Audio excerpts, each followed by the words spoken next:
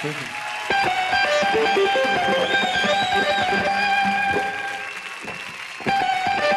you.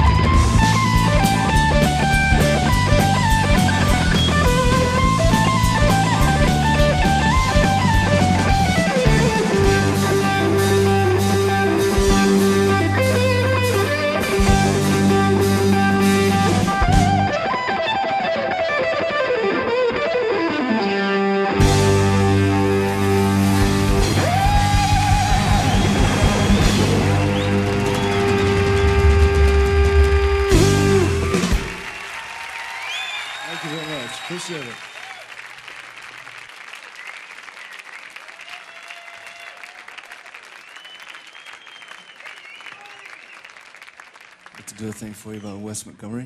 I think he did on one of his last albums that he recorded. It's a tune called Down Here on the Ground.